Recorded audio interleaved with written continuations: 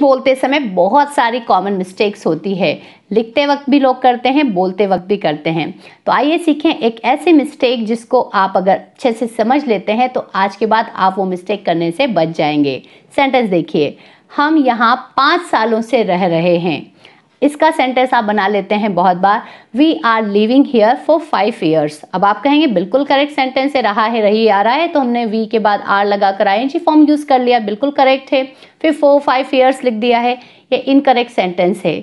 इसमें आपको ये देखना है कि ये प्रेजेंट कॉन्टीन्यूस नहीं है, ये प्रेजेंट परफेक्ट कॉन्टीन्यूस टेंस है, क्योंकि इसमें साल आ गए हैं मतलब टाइम का ज़िक्र हो गया है तो अब ये प्रेजेंट कॉन्टीन्यूस टेंस नहीं रहा। तो इसका जो करेक्ट सेंटेंस बनेगा वो ये होगा we have been living here for five years we have been living here for five years I hope आज के बाद आप ये मिस्टेक नहीं करेंगे। सेंटेंस बनाने से पहले, बोलने से पहले देख लीजिएगा कि वो प्रेजेंट कॉन्टीन्यूस का टेंस है या फिर प्रेजेंट परफेक्ट कॉन्टीन्यूस का टेंस है।